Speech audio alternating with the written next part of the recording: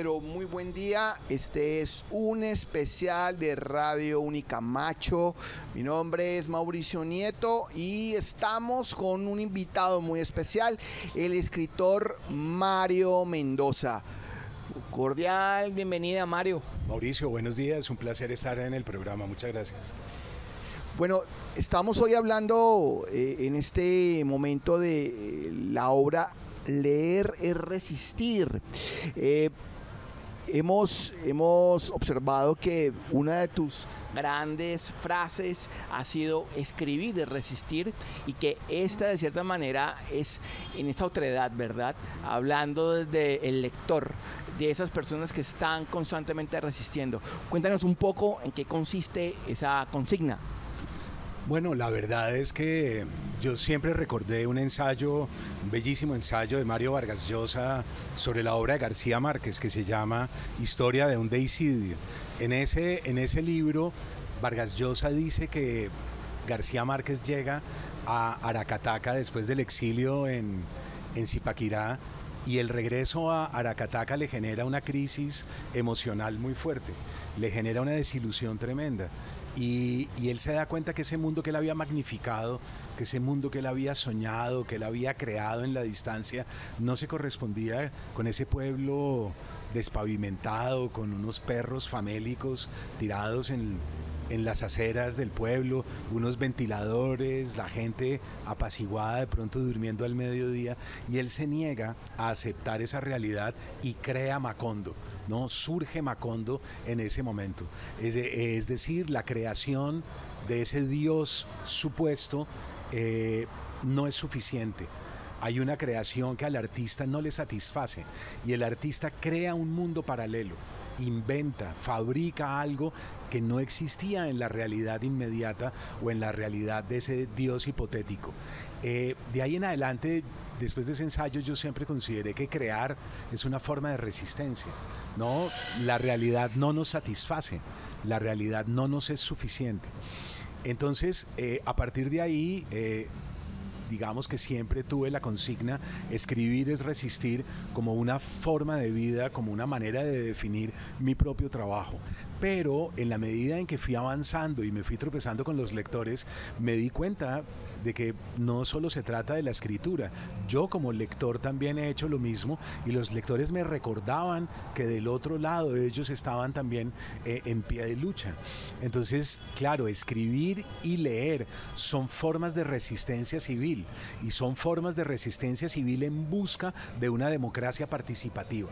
No es suficiente la democracia teórica, hay que aplicar una democracia participativa y de ahí si no hay creación y si no hay derecho al lenguaje, pues es muy difícil que nosotros logremos esa democracia por la cual estamos abogando hace tantos años. No olvidemos que lo primero que hace una dictadura es suprimir un derecho, el derecho a la libre expresión. ¿Por qué lo suprimen? Porque le tienen miedo a lo que vamos a decir, le tienen miedo al lenguaje.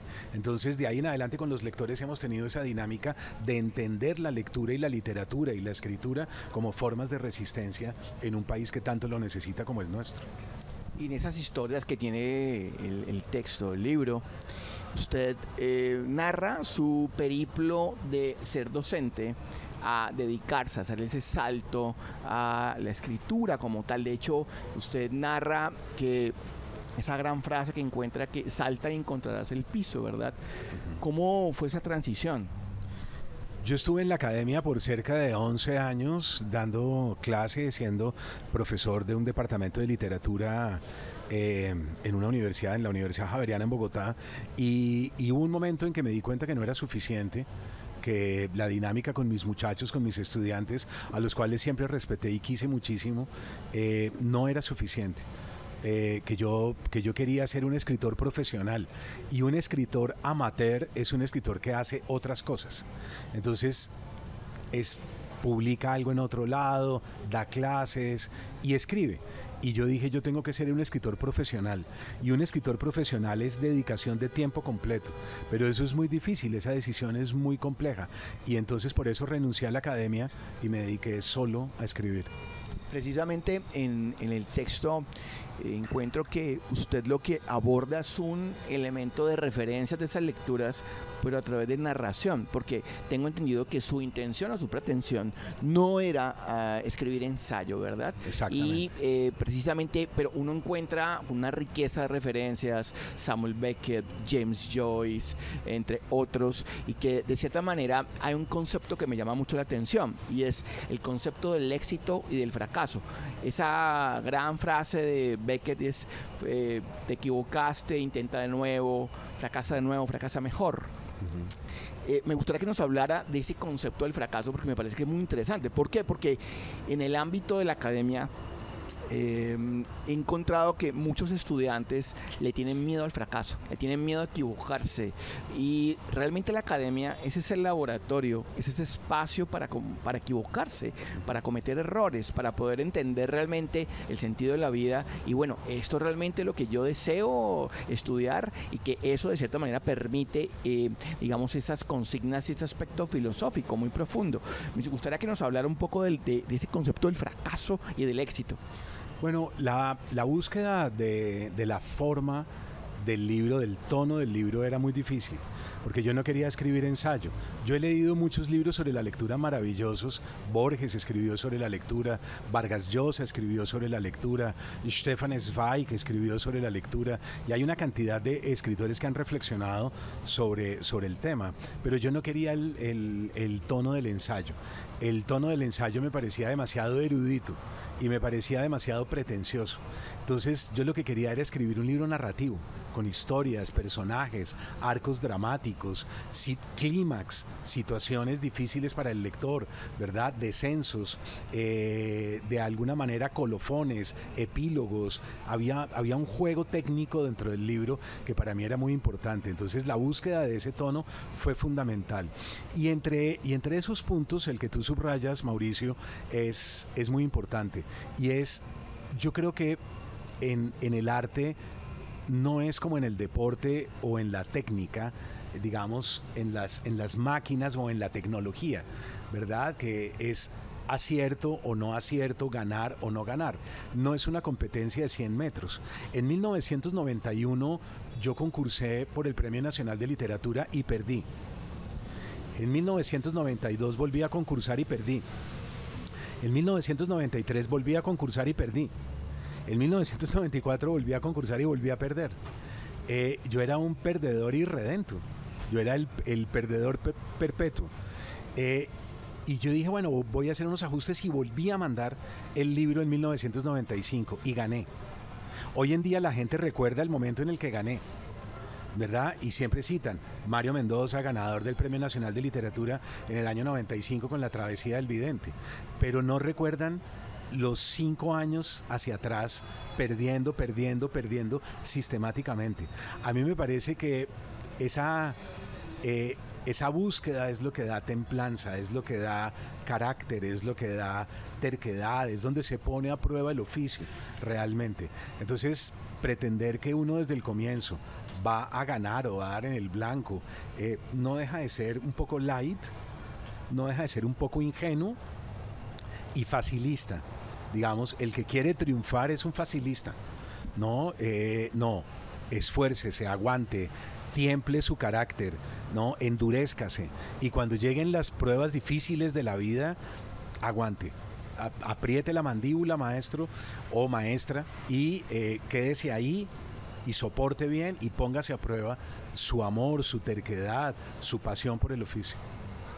Hay otro aspecto que está referenciado también a partir de la obra de Byung-Chul Han, este gran filósofo coreano que de cierta manera su gran formación ha sido esa, eh, ese vertiente de los filósofos alemanes. Y él plantea en la sociedad del cansancio que eh, uno, las enfermedades de ahora más que virales son neuronales y que eso se debe a ese, esa sobreexposición de ser positivo. Eh, me gustaría que nos comentara al respecto. La Sociedad del Cansancio es uno de los mejores textos que yo he leído en los últimos años y es un libro en donde hablas primero sobre la sociedad del rendimiento. La sociedad del rendimiento es la, es la sociedad de los termos de café, es la sociedad de la Coca-Cola, es la sociedad eh, de los estimulantes, es la sociedad ya un poco más a fondo de la cocaína, es la sociedad también en donde yo puedo meter metanfetaminas, en donde yo puedo estar permanentemente sobreexcitado, ¿no? Es la sociedad del Red Bull, del Vive 100, del yo tengo que estar permanentemente a tope rindiendo. Eh, estudio dos carreras, voy al gimnasio, em, hago ejercicio, mm, en las horas de la noche tengo que seguir haciendo, hago, hago, hago, hago, soy, soy, soy, soy lo que más pueda. Y, y después de la sociedad del rendimiento, Byung-Chul Han dice, viene la sociedad de la fatiga. Es decir, un día no nos podemos levantar de la cama, un día nos damos cuenta de que lo único que queremos el fin de semana es quedarnos acostados viendo series, no abrimos la cortina, estamos rendidos, muertos, agotados y vienen una cantidad de enfermedades como producto de esa sobreexcitación.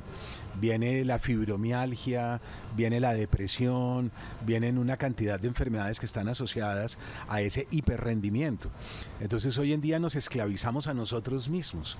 Ya no tenemos un jefe o alguien que nos, que nos esclaviza. Nosotros nos esclavizamos solos y creemos que eso está bien, que hay que hacer muchas cosas. Que y resulta que quizás las ideas más importantes de la vida no suceden ahí, suceden cuando estamos por la calle caminando tranquilos, sin hacer nada, sin tener a dónde ir.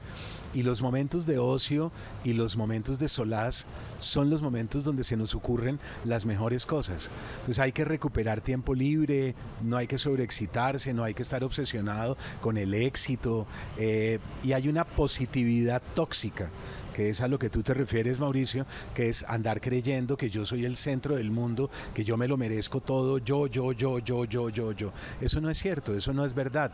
No, nosotros no somos nada, no somos nadie y no tenemos que andar obsesionados ni con el éxito, ni con el dinero, ni con la fama, ni con cuántos likes tengo en las redes sociales, todo eso es irrelevante. Lo que importa es esos momentos de soladas, de tranquilidad y tener buenas ideas tener buenas ideas. Y tener buenas ideas implica, de alguna manera, ser un poco vago. Hay que tener una buena relación con la vagancia. La vagancia es el origen del arte finalmente. Mario Mendoza ha tenido un inicio solitario, no obstante, eh, usted ha incorporado a otras personas en su obra, que son Kekolano, eh, que precisamente ha aportado en esa nueva mirada de lo gráfico. De hecho, los que hemos comenzado con la lectura, muchos hemos comenzado desde ahí, ¿verdad? Con los cómics, con la novela gráfica. Eh, cuéntanos cómo ha sido ese paso de ser eh, un escritor solitario para compartir esas ideas, para entrar en esa, en esa dinámica de poder concordar con la obra. Bueno, eh, curiosamente está acá Kekolano, muy cerca de nosotros, y Heidi Muscus, que son mis dos compañeros de, de, novela gráfica y de cómics. Leer es resistir termina con un ensayo sobre ellos justamente y sobre nuestro trabajo. Y a mí me parece muy importante que la gente entienda que hay otro género que la literatura no solo es cuento, novela, teatro y ensayo, sino que hay otros géneros, bueno, poesía, etcétera, hay muchos más, pero digo que no esos pocos que tenemos como referentes. No, hay un, hay un género maravilloso que está en el mundo gráfico y en el cual, como tú muy bien lo acabas de señalar, nos iniciamos muchos, y es las imágenes. Yo creo que cuando uno es un lector joven, uno siente mucha pasión por las imágenes. Yo recuerdo que las ediciones ilustradas eran las ediciones que a mí más me gustaban, ¿no? Que era porque podía ir viendo los dibujos.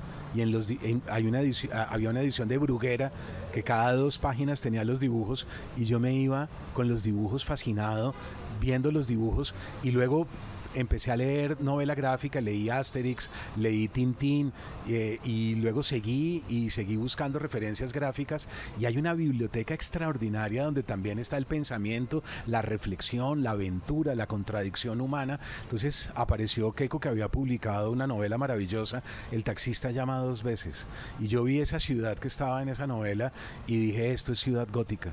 Esto es lo que yo he venido haciendo literariamente. Y de pronto hay un tipo que tiene la visión de esa ciudad, que entiende bien la dinámica de esa ciudad, eh, y lo contactamos y ahí empecé a trabajar con él. Y pues sería maravilloso si pudiéramos dialogar también con Keiko.